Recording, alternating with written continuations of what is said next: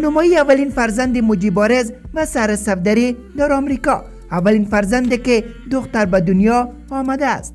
مجیبارز و سر صفدری در مورد این فرزند تازه به دنیا آمده چی گفتند و انتخاب اسم این دخترک به ذوق کدام آنها بوده است و چی معنی دارد؟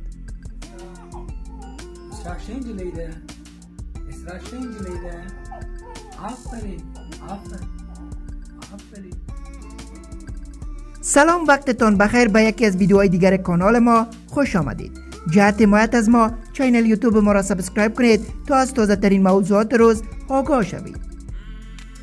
شب گذشته زندگی مجیب عارض و سحر صفدری رنگ و بوی دیگر گرفت و خداوند فرزند را برای آنها هدیه داد تا خانواده آنها سه نفری شود مجیب عارض و سحر صفدری دو گوینده موفق سابق رسانه طلوع بود که بعد از سقوط حکومت افغانستان با آمریکا پناهنده شدند و با خانوادهایشان در ویرجینیای آمریکا زندگی می کنند. تازه نوارای تصویری مجیبارز و فرزند تازه به دنیا آمده این جوان در صفحات مجازی به نشر می رسد و اما با گذاشتن پیام های تبریکی برای سهر صفدری و مجیبارز طفل جدیدشان را مبارکی دادند. در این نوارای تصویری دیده می شود مجیبارز فرزند جدیدش را با غوش گرفته و در حال آرام ساختن این کودک است.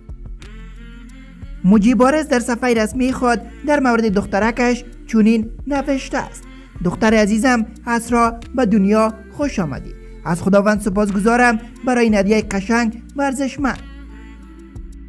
این در حال است که سر صفدری چند سال قبل در یکی از برنامه های تلویزیونی رسانه طلو در مورد فرزندش گفته بود که اگر فرزندی به دنیا آورد اسم وی را اسرا خواهد گذاشت.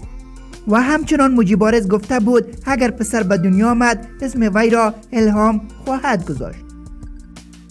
اسرا در لغت به معنی سیر دادن در شب و یا در شب را رفتن را گوید شب گذشته مجیبارز صاحب یک فرزند شد که خانواده مجیبارز را سه نفری ساخت و با آمدن این کودک زندگی آنها تغییر کرد. تعدادی در صفحات مجازی گفتن مجیبارز و سر صفدری چگونه فرزندی به دنیا آوردن که با هم دیگر تا هنوز عروسی نکرده بودند و تعداد دیگر رونق گرفتن زندگی جدید آنها را مبارکی دادند.